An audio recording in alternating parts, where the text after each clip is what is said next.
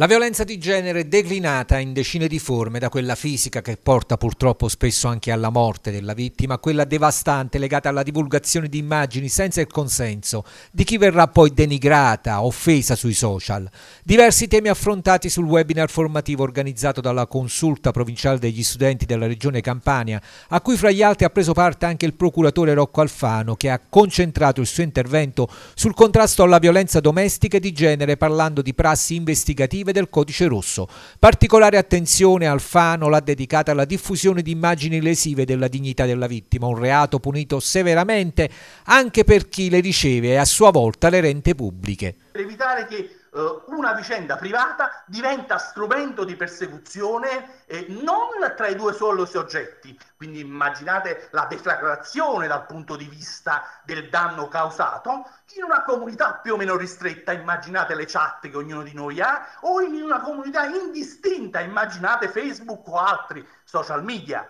Eh, il fenomeno è fondamentale e quindi è importante che si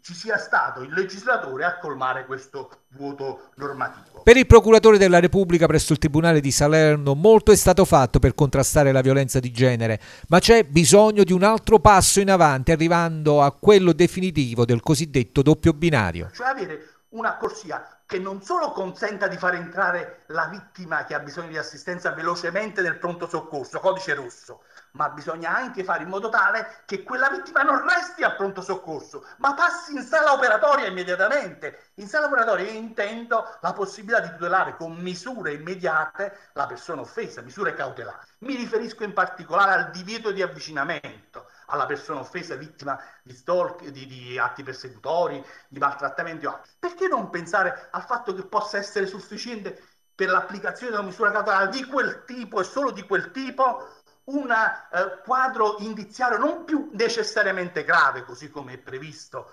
attualmente, ma anche un quadro indiziario oh, sufficiente Infine, citando Borsellino, l'appello del magistrato è a un cambiamento fondamentale per combattere questo tipo di reato che passa per un'evoluzione che si trasformi in un movimento culturale. Scusate, dobbiamo far passare alle nostre generazioni, ai nostri figli, l'idea che rispetto alla libertà ha profumo, la violenza, l'abuso è un puzzo insopportabile e non più perdonabile. Grazie.